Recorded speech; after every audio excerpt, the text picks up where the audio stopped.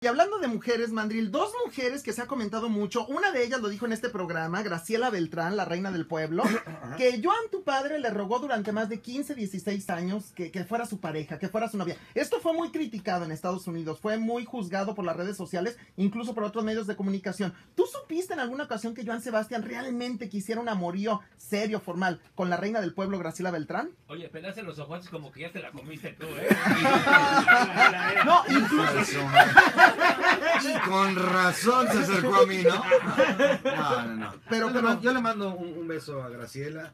Yo, yo no he oído nada del tema. Yo, la verdad, no puedo opinar por, por, por esa situación eh, de parte de la dama, ni tampoco del caballero que descanse. o sea, que es... Oye, me, no me, sé, me, me da, no sé. Da, yo, no, yo no puedo Qué lástima afirmar, que no no. podamos tener una cámara ahorita de televisión. Para que viera cómo... las caras. No, no, sí. las, caras a, a, José Manuel. O sea, hablar de mujeres es sacar la lengua del lado. Ah, no, sí. y lo de Lucero también está Oye, bueno. está amena, Está bueno, está ¿Te bueno. robamos otros minutos? Sí, claro. Yo estoy feliz aquí, amigo. Estoy como en mi casa Qué- qué No, y faltan preguntas, Mandril, muchas preguntas. Ah, bien, regresamos. Regresamos con más José Manuel Figueroa. ¡Bravo, bravo! Oye, Déjame decir que tengo a José Manuel de 28 minutos, 29 ya. Fátima, quiero saludar a José Manuel. Ahorita te, te saluda Ernesto, Beso, José Fátima. Luis, Ofelia, Eva. Ahorita los atendemos 29, 30, 36 minutos. Regresamos. Saludos. ¡Oye, José Manuel Figueroa! Bueno, señoras y señores, este es el show del mandril. ¡Bravo, bravo! ¿Y qué show? Ahí estamos. ¿Qué pasó, mi queridísimo José Manuel? ¿Bien? Tranquilo, tranquilo. Eso, tranquilo, relajadito, todo muy bien. Sí, muy bien. Qué bueno. Oye, nos quedamos en el tema favorito de José Manuel, del Mandril, de Joan Sebastián, en memoria a él. Las mujeres, por supuesto, las mujeres. Hablamos de Graciela Beltrán, pero también hablamos, y lo dijimos en este programa, a mí fuentes muy allegadas a tu padre y a Lucero, Lucero, la eterna novia de México, me aseguraron en alguna ocasión que Joan quiso con Lucero. Él tuvo a las mujeres que quiso, obviamente, Joan Sebastián, pero que Lucero siempre lo vio como un gran amigo, como un verdadero amigo, y que realmente nunca hubo un amor entre ellos, a pesar de que Joan realmente, pues, le hubiera gustado tener otra cosa con Lucero. ¿Tú qué sabes de esto también? No, yo creo que mi padre siempre ve a Lucero con gran cariño ¿Sí? ¿no? Yo creo que... eh, ¿Como una amiga una- verdadera? Una, una de sus grandes eh, pues sueños, de alguna forma, siempre fue hacerle un disco a Lucero, ¿no? En particular, eh, este, cuando se logró lo de lujo, pues fue algo que mi padre pues le encantó hacer. Fue, Sí. Dedicó como a varios discos pues el cariñito, el amor y todo el talento que tenía mi padre. Como recordemos que ese, ese, ese eh, espinita fue o esa daga envenenada de querer eh, lograr ese sueño, nació cuando Lucero eh, grabó el, su disco de mariachi y en ese entonces yo recuerdo que, que- que mi padre eh, se grabó el disco y, y se hizo, no recuerdo qué periódico, un periódico importante de México, de la Ciudad de México, comentó pues de que, de que se había grabado el disco de Lucero y, y había eh, varios compositores que mencionaban, Guadalupe Esparza, Manzanero, varios temas, etcétera, eh, etcétera, etcétera, etcétera. Y entre los etcéteras pues estaba mi papá. Sí, claro. Y, y el tema que funcionó de ese disco fue el tema de llorar. Te Que- miré llegar. Que es un clásico de Ah, Joan y de exacto. Lucero. ¿Quién iba a pensar que un día me habías de abandonar? ¿Quién, quién? Entonces, recuerdo que ahí, en ese momento creo que surgió más bien la, la, la, la- la espinita, ¿no? El- el- el- el- la, la ambición por querer hacerle un disco a Lucero. Entonces, yo creo que ahí surgió una amistad muy bonita con, entre Lucero y mi padre, de muchos, muchos años, de, de- de convivir, de coincidir en eventos, de, de- de- de convivir. Entonces, eh, cuando mi padre eh, realiza el disco de, de lujo y que era el disco compartido, creo que mi padre estuvo, fue de los, de los momentos más gratos de, de mi padre en esta carrera. Lucero no estuvo presente con ustedes en el, en el funeral, estaba de viaje, tengo entendido, pero No sé, expresó no sé. una carta abierta, muy No, bonita, no, una no, carta. Mira, yo, yo te tengo que, que- que- que admitir, amigo, que de repente hay personas que veo y que, que- o que me vuelvo a encontrar y, y- y- y es que la verdad te tengo que decir que estaba yo tan enfocado en querer hacer las cosas bien por mi padre, por el hombre hiciste que bien, fue. ¿eh?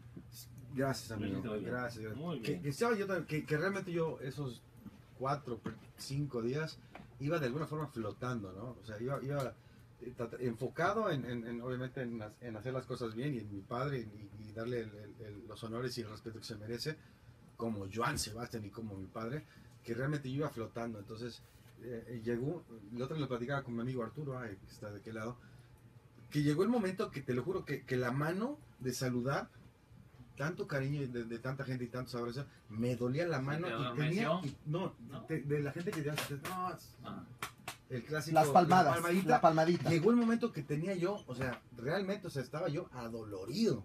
¿Me entiendes? Y- y- y es adolorido de muestras de cariño. Claro, claro, de amor. De amor, exacto, ¿me entiendes? Entonces, floté, floté la realidad y, y no me percaté de quiénes estuvieron, quiénes no, quién, no, no, no era como checar lista de, claro. de- de- de- de presente, ¿no? Pero estuvo el, el gabinete principal, que es la familia. La familia. Eso es más que nada. Oye, el gabinete Oye, José principal. Manuel, te voy a pedir un favor, eh, aprovechando que, que te tengo- no, no, no acostumbro a gandallarme, mucho menos, eh, y soy de las personas que aborrecen ese, eh, eh, eh, de hacer lo que, te, lo que voy a hacer, pero yo creo que es justo y necesario. Estamos próximos a hacer un evento del baile privado de Radio Centro, acá en Los Ángeles, y me gustaría que nos acompañaras. ¿Qué días? Eh, la- vamos a, está la última semana de, de agosto.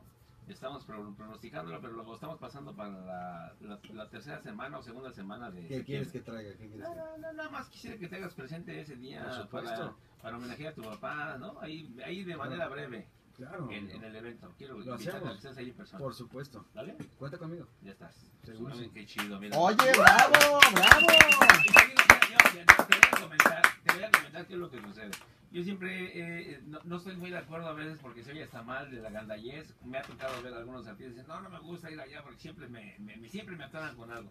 Y alguien la verdad, la verdad, entonces yo no quiero, pero honestamente si No, te no. tenemos aquí, sabes, sabes el cariño que hay Me gusta, me, me gusta que lo hagas en público y que hagas presente nuestra amistad, el cariño, que no es de ahorita, lo sabes. No, no, ni por lo que pasó yo también sabes Exacto. que Yo, soy... yo- ya sabes que tengo cariño y nos podemos bromear fuerte Claro, también.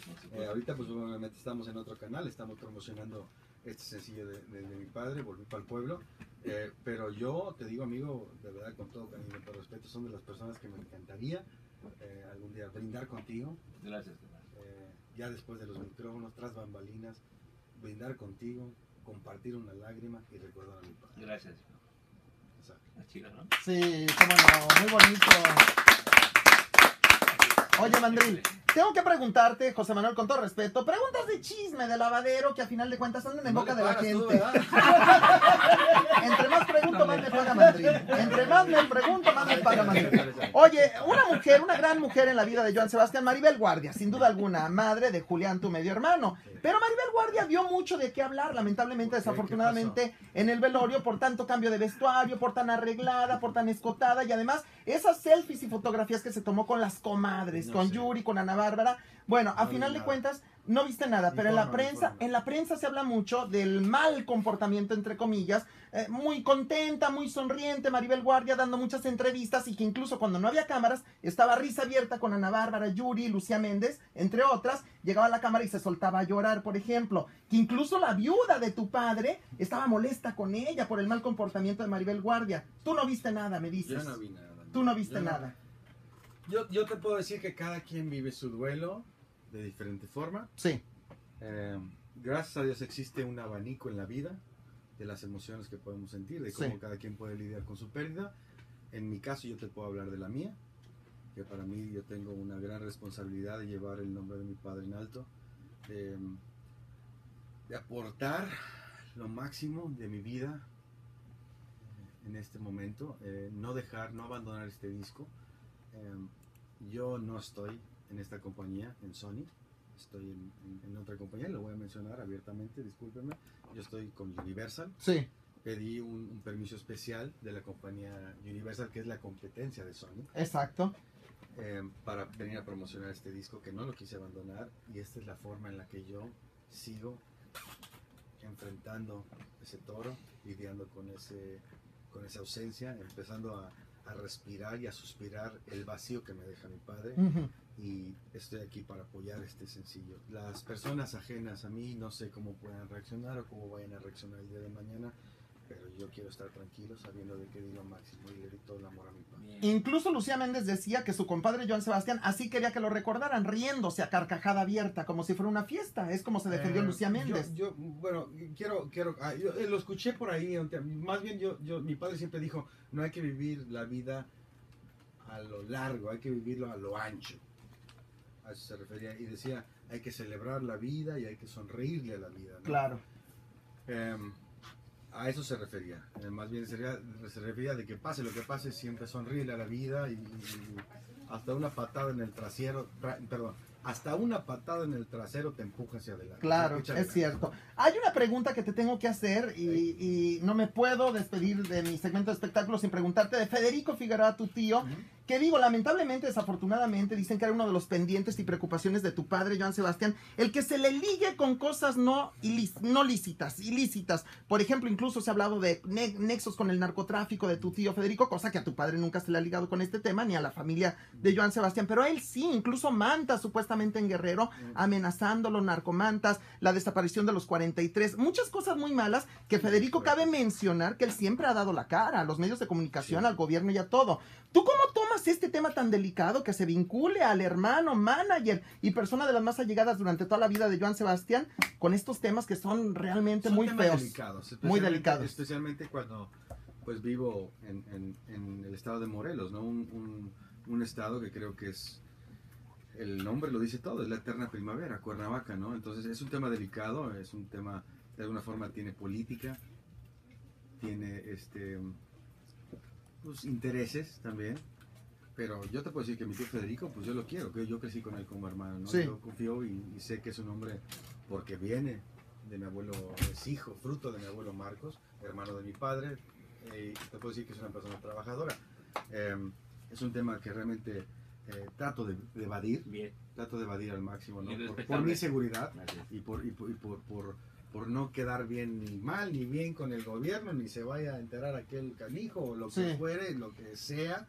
Y mi tío Federico, yo lo amo, es lo único que te puedo decir. Lo que te puedo confirmar con, todo, con toda honestidad es que mi, mi- mi tío es una persona trabajadora, es una persona que está sufriendo ahorita la pérdida de su hermano, es una persona que siempre me ha apoyado y una persona que yo amo y he considerado como mi hermano mayor. Bien. José Manuel, pues eh, quiero darte las gracias por todo ese tiempo que nos diste. No, amigo, no, no, no, no, no. Te queremos feliz mucho. de estar aquí contigo. Eres, eres, eres buena onda, eres eh, bien chido. No, gracias. Yo te Y- quiero y- mucho y y te te entendemos respeto, tu, tu situación y tu dolor que estás pasando y, y lo que estás haciendo a un lado por ser tan valiente y tener pues ese ímpetu de seguirle dando a la vida cuando en el, tu trasfondo personal pues hay algo en ese hueco que es el de campana, ¿no? Que te hace mucha falta. Ya me tocará llorar, amigo. Ya me tocará llorar. Bien. Pero ahorita hay que respirar, suspirar y darle para adelante. Qué chido. Entonces, gracias por eh, aceptar nuestra invitación a nuestro baile privado. No, Te- fui te- feliz. vas a ser feliz. nuestro padrino, vamos a No, no, genial, sí, por favor. ahí está Sí, ya, padrino. ya, Apuntado. Oye, como dicen los niños, picking. Ya, Promes, promes.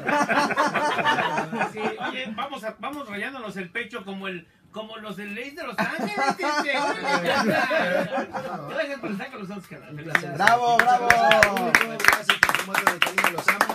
Y por favor, les encargo este sencillo de mi padre. Oye, Cuando te sientas así como estresado o algo, este, te voy a dar mi celular. Te voy a llevar con dos tailandés para que masajito, no, un masajito. Ah. Sí, no, no, no, una cosa bien, bien, bien. Como las de mi compadre Cristian.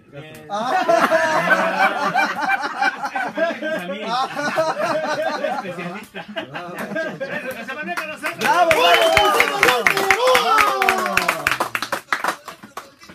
Chido, carnal. No, pues gracias, hijo. La clase. Sí, ¿no?